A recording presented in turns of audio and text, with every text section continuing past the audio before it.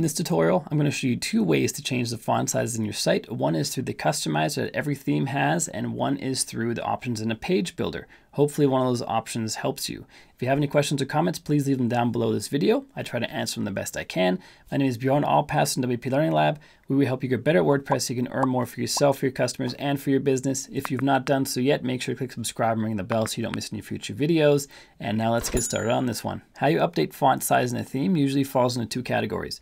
One is in the theme customizer options, and the second is in whatever page builder the website was built with. So it depends on how your site is built. I'll show you both methods in this tutorial. First, let's check out the customizer. The customizer is something that comes with every theme you download these days, at least any theme that's any good.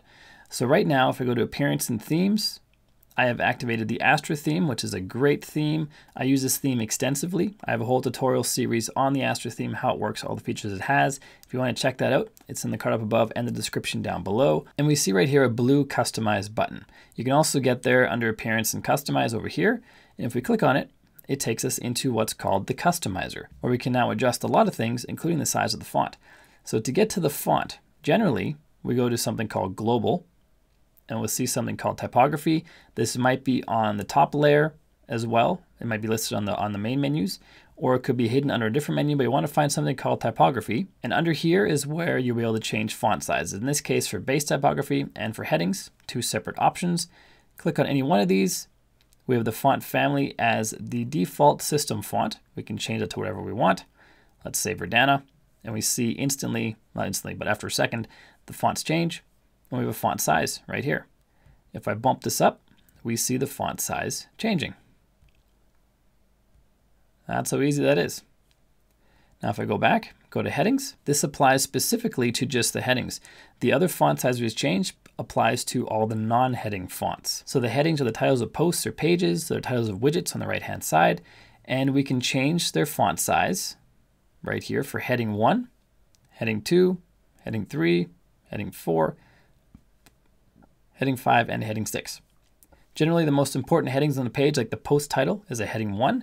Everything else is a heading 2. And then you may have heading 3s and other ones on the post, but they're not as common as heading 1 and 2.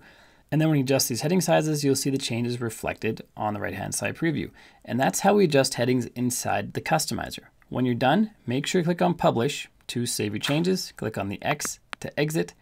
And if you have a page builder installed, like say Elementor, which is the most popular page builder right now, you may have pages built in Elementor, and the font size changes you do in the customizer do not change the font sizes in a page builder, in any page builder, including Elementor. So if I go to a page created by Elementor, I don't think I have any right, oh I do right here. So if I go to this one, go to edit with Elementor, we see we have content on the page, including headings and text, and we can click into any one of these go to Style, go to Typography, click on the pencil, and increase the size. Just like that. You can drag and drop it, you can enter numbers here, and that's how we change the font size in a page builder.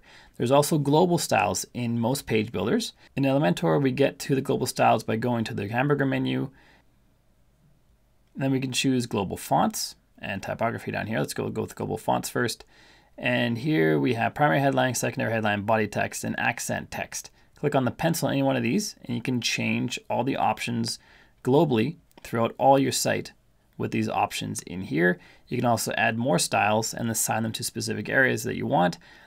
That may be a little more advanced if you just want to change the font sizes. This is how you change the font size on all Elementor pages. Go to body text and change the size to something else. Adding new styles is probably a little more advanced than you need if you want to just change the font sizes. And that's how you change them, either individually or globally using those options. And that's a page builder called Elementor. You may have a different page builder, but it will function similarly. So hopefully those two options help you change the font size on your site. And next up is checking out this WordPress beginner playlist right here, which is full of beginner tutorials helping you get a great foundation in WordPress so you can build something awesome on top of that great foundation that you learn in that playlist. So make sure you check that out. If you've not done so yet, make sure you click subscribe and ring the bell so you don't miss any future videos. My name is Bjorn Allpas from WP Learning Lab. Until next time, keep crushing it and I will see you in the next video.